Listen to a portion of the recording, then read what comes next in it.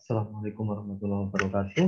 Kita lanjutkan pembahasan terkait dengan musuh alami hama yang ketiga, yaitu dari kelompok patogen. Jadi kemarin sudah saya singgung terkait dengan musuh alami, yaitu tipe predator, yang kedua dari parasitoid, dan sekarang kita akan bahas tentang eh, patogen. Patogen adalah suatu mikroorganisme yang hidup dan makan atau memparasit pada atau di dalam suatu organisme inang yang lebih besar dan menyebabkan inangnya sakit atau gangguan ya atau mati. Jadi patogen ini berpengaruh menyebabkan sakit pada inangnya bahkan hingga kematian. Ini untuk gambar yang ketiga, ini adalah contoh eh, patogen musuh alami serangga hama. Patogen serangga hama ini dikenal sebagai entomopatogen. Ento itu serangga, patogen ini patogennya serangga. Jadi entomopatogen ini eh, patogennya serangga secara bahasa seperti itu ya supaya mudah. Entomopatogen ini terdiri atas lima kelompok ya, lima kelompok. Yang pertama virus, yang kedua bakteri, yang ketiga protozoa, yang keempat cendawan, dan yang kelima nematoda. Masih ingat ya, virus itu apa, bakteri itu apa, protozoa itu apa, cendawan itu seperti apa dan nematoda seperti apa. Oke. Nah, kalau masih belum ingat, kembali ke bioekologi. Ya. Dibaca kembali. Nah, untuk yang pertama dari kelompok virus, virus ini diklasifikasikan menjadi 12 famili. Di virus entomopatogen, ini ada 12 famili berdasarkan International Committee of Taxonomy of Virus atau ICTV. Untuk virus entomopatogen ini memiliki inang yang sangat spesifik dan dapat menurunkan populasi hama secara signifikan. Jadi setiap partikel virus ini memiliki inang yang uh, spesifik. Beberapa contoh uh, famili virus yang menginfeksi serangga atau yang berperan sebagai entomopatogen adalah Baculoviridae, Polydnaviridae, dan Ascoviridae. Kalau di Indonesia, eh, yang sering kita kenal atau yang terkenal adalah Nucleopolyhedrosis hydrovirus atau NPV. Untuk NPV ini berbentuk segi banyak atau polihedral ya seperti gambar yang atas ini, sebelah kanan atas. Jadi bentuknya polihedral terdapat di dalam badan inklusi. Ini ya yang tengah ini, yang atas tengah. Jadi dia berada pada satu badan inklusi. Ya, ini yang paling kanan, ini badan inklusi virus, di dalamnya ada banyak sekali partikel. Kemudian di badan inklusi ini ada inklusi virus yang terdiri atas tiga, tiga sampai lima ya, lima virus. Nah, virus ini bereplikasi di dalam inti sel sel serangga ya. Jadi dia bereplikasi. Pada umumnya kan virus parasit ya obligat ya atau memang uh, sistem kendalinya dia akan menyerang inti sel. Kemudian NPV ini telah ditemukan pada 523 spesies serangga dan spesifik inang, umumnya spesifik inang. Jadi antara NPV pada ulat Spodoptera dengan NPV yang ditemukan pada serangga lain itu berbeda. Ya. Untuk penamaan NPV ini biasanya disesuaikan dengan inang asli, di mana dia pertama kali diisolasi. Jadi penamaan virus kalau di tumbuhan kan juga berdasarkan inangnya, kemudian gejala ya, misalnya eh, virus mosaik eh, pada kacang, maka penamaannya adalah bin common mosaic virus. Kemudian pada serangga juga demikian, penamaannya itu ditambah dengan nama asli inang. Contohnya NPV yang menginfeksi ulat Spotoptera ini dinamai dengan Spodoptera exigua, misalnya ya, Spodoptera exigua. Ini dinamai Spodoptera exigua nucleo polyhydrovirus atau SENPV. Dia ada tambahan nama inang di depan nama NPV. Untuk gejala serangan virus ini itu khas ya. Jadi larva yang terinfeksi ini akan mati ya menggantung dengan kepala menghadap ke bawah ya jatuh artinya eh, kepalanya itu tidak nempel lagi pada tungkainya tidak bisa mencekram ya tungkai depan lepas itu ciri khas dari serangan NPV. Adapun proses infeksi dari NPV ini ya eh, NPV yang berada di lingkungan di daun misalnya baik yang bentuknya badan inklusi maupun single ya multiple maupun single kemudian termakan oleh larva larva serangga kemudian sampai pada midcat atau pencernaan bagian tengah. Ini virus itu akan mengalami enkapsulasi atau badan inklusinya akan pecah, kemudian akan masuk ke nukleus. Nah, di sini replikasi virus terjadi atau uh, istilahnya yaitu secondary infection, infeksi sekunder. Kemudian setelah itu Eh, di dalam inti sel ini ya akan mereplikasi diri ya atau memperbanyak diri menjadi virus-virus baru kemudian menyebabkan kematian pada larva itu. Jadi dengan gejala khas yaitu kepala ya kepalanya jatuh seperti ini. Nah dari sini juga bisa ya. Jadi dari sini partikelnya juga bisa menular ke larva yang baru. Itu siklus dari NPV. Sebagai musuh alami eh, larva serangga. Larva Lepidoptera ini ya, larva ulat. Atau larva kupu-kupu atau kita kenal dengan ulat. Kemudian yang kedua yaitu kelompok bakteri entomopatogen. Jadi musuh alami hama dari golongan patogen dari kelompok atau jenis bakteri. Beberapa famili penting yang menjadi entomopatogen ini adalah Bacillase, Pseudomonadase, Enterobacteria bacteriaceae, Streptococcaceae, Micrococcaceae. Contohnya yang paling terkenal yaitu dari famili Bacillase, yaitu Bacillus thuringiensis.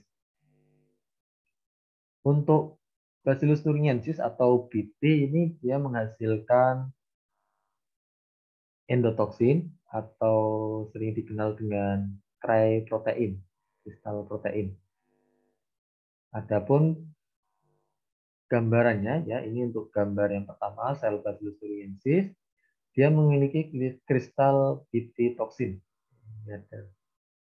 pada hmm, sitoplasma ya ini yang menghasilkan BT toksin gejala keracunannya dia ada di epitelium ya. Jadi pada saat masuk ke pencernaan, kristal protein ini akan pecah ya, akan pecah, kemudian akan bereaksi pada epitelium. Untuk gejala serangan BD ini ulatnya menjadi ini ya kecoklatan ya. mati mati karena keracunan ya ini seperti ini seperti gambar yang kanan ya beberapa ulat yang mengalami keracunan kerai protein. Untuk gen penyandi toksin ini juga sudah banyak digunakan sebagai bahan rekayasa genetik ya atau untuk eh, merakit varietas tahan melalui rekayasa genetik atau GMO. Misalnya BT corn atau jagung BT, cotton BT, kapas ya, maupun ini ya, tomat dan lain sebagainya. Meskipun di beberapa negara untuk GMO ini masih belum bisa menerima ya di beberapa eh, negara di Eropa. Nah, yang terjadi adalah ini eh, saya berikan ilustrasi ya untuk pemanfaatan gen penyandi krai protein yang digunakan sebagai bahan rekayasa genetika. Nah, ini jagung hasil rekayasa genetik menggunakan gen krai protein. Kemudian apa ulatnya makan ya, ulatnya makan karena jagungnya menghasilkan endotoksin, krai protein ini, maka ulatnya mengalami keracunan dan mati setelah memakan tanaman jagung. Untuk mekanisme atau cara merekayasanya nanti kita pelajari bersama di agroteknologi jika ingin tahu lebih lanjut. Oke, selanjutnya cara kerja BT ini secara lebih detail. Jadi ini ada Bacillus thuringiensis ya di lingkungan, misalnya di daun. Daun kemudian eh, larva ulat atau ulat ya ini makan, kemudian otomatis bakteri beserta kristal ya yang ada di yang dihasilkannya itu akan termakan. Kemudian pada pencernaan awal, ini kristal itu mengalami ini ya, pecah ya, solubilization atau pecah. Sehingga menyebabkan kristal ini menjadi aktif pada eh, atau pada pencernaan tengah. Setelah itu protein akan mengikat epitelium. Dia akan mengikat eh, dinding-dinding epitelium. Setelah itu terbentuklah oligomer. Kemudian reaksi yang lain, ya. reaksi yang lain ini yang paling bawah ini, sel ini akan memerintahkan untuk eh, mengaktifkan sel death program atau program sel bunuh diri ya di beberapa bagian sel. Kemudian eh, oligomer ini akan bereaksi dengan GPI angkornya ya. Kemudian ini jika terjadi terus-menerus, maka sel death activation-nya ini akan memerintahkan ya, memerintahkan midgut selnya ini atau bagian tengah pencernaan ini mengalami kematian. Jika proteinnya banyak dan banyak memerintahkan kematian pada sel, ya maka bakteri eh, larva ini juga akan ikut mati. Sebenarnya mekanisme alamiah untuk sel death program ini untuk mempertahankan diri ya. Jadi kalau ada eh, infeksi kemudian dia akan mengaktifkan kematian sel tertentu ini untuk mencegah penyebaran. Namun karena toksinnya ini cukup banyak sehingga banyak juga sel pencernaan yang mati, maka larvanya juga menjadi mati. Itu mekanisme cry protein endotoksin. Ya. Kemudian yang ketiga yaitu kelompok cendawan entomopatogen. Kelompok cendawan entomopatogen atau jamur entomopatogen ini eh, beberapa sudah komersial juga ya.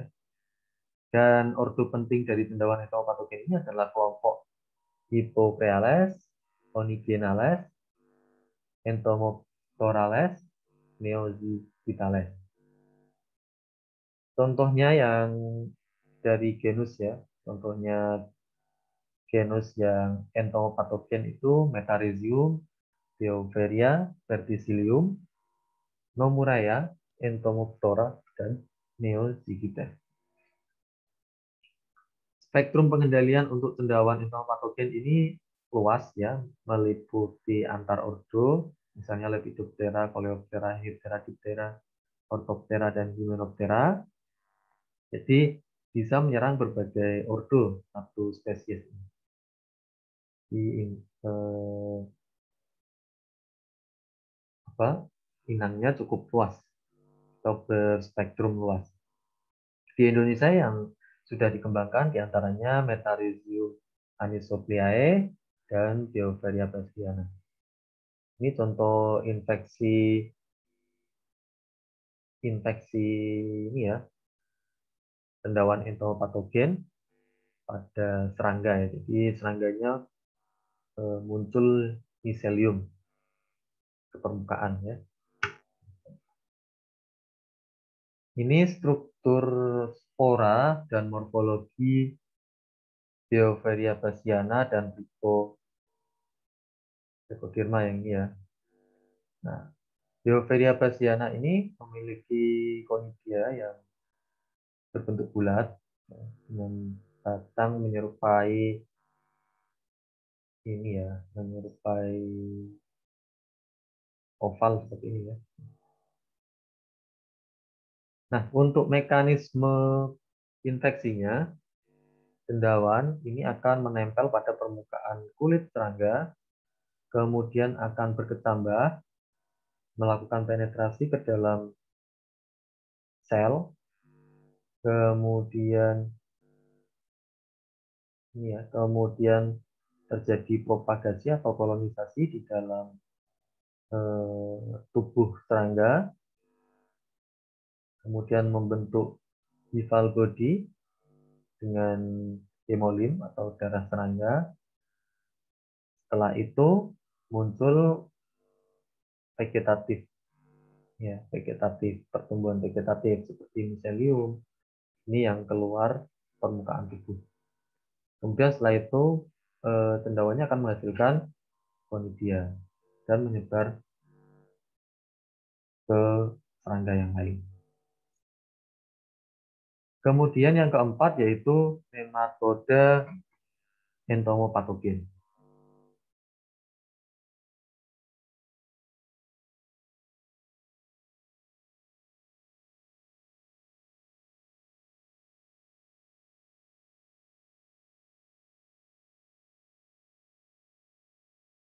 Untuk nematoda entomopatogen, ini secara alamiah dia sebenarnya berlokasi di tanah, ya. di lingkungan tanah, kemudian merespon serangga itu berdasarkan adanya karbon dioksida yang dihasilkan oleh serangga tersebut maupun e, mekanisme kimia yang lain. Beberapa contoh famili e, entomopatogen yaitu hetero, dan Steiner nematide. Ini umumnya yang digunakan sebagai agen pengendali hayati untuk mengendalikan serangga hama. Ini contoh nematoda Steiner nema ya yang menyerang trips ya. Kemudian ini contoh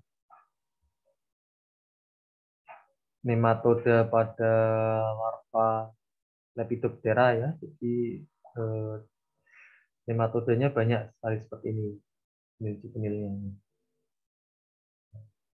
benang-benang ini ya yang banyak ini adalah nematoda. Nah, untuk nematode ini dia bersimbiosis dengan bakteri ya sebagai eh, apa istilahnya? sebagai partnernya ya, partner dalam menyebabkan infeksi pada serangga, hama. Contohnya Steiner nema, ini semua spesiesnya ini berasosiasi dengan bakteri Cenorhabdus. Sedangkan yang heterorhabditis ini berasosiasi dengan Photocaptus. Untuk mekanismenya, eh, nematoda entomopatogen ini yaitu eh, larva atau infektif juvenilnya ini akan masuk pertama kali ke dalam inang, kemudian dia akan melepaskan bakteri simbiosisnya, bakteri simbionnya. Dan bakteri itu akan berada pada uh, intestin, dari intestin. Kemudian bakteri ini menyebabkan gangguan pada tubuh, septisema, kemudian membunuh inangnya kurang lebih 24 hingga 48 jam. Kemudian eh, juvenil ini akan memakan bakteri yang dihasilkan ya, dari jaringan-jaringan yang mulai eh, rusak. Kemudian sekitar 2 sampai 3 generasi nematoda ini dia menyelesaikan uh, satu inangnya ya, satu larvanya ini bisa habis sampai hanya dalam tiga generasi, dua sampai tiga generasi. Jadi simbiosis antara entomopatogen dengan bakterinya ini ya, ini menghasilkan ya, bakterinya sebagai makanan nematoda dan nematodanya ini yang mengirimkan ya atau yang mengawali proses infeksi. Jadi sama-sama memperoleh makanan dari proses infeksi. Ini simbiosis mutualisme. Nah, nematoda ini berperan sebagai vektor untuk mentransportasi ya, memindahkan bakteria dari inang, kemudian dia bisa memperbanyak, dan nematoda itu makan, makan bakterinya, kemudian sebagian bakterinya itu ada di tubuh nematoda, kemudian mencari inang lagi, begitu seterusnya. Jadi eh, sama-sama bertahan hidup ya, dengan menginfeksi serangga secara bersama-sama. Baik. Di itu eh, teknologi proteksi tanaman non pestisida yaitu penggunaan musuh alami dari golongan eh, patogen ya, atau entomopatogen. Oke, sekian penjelasan hari ini. Semoga bermanfaat. Assalamualaikum warahmatullahi wabarakatuh.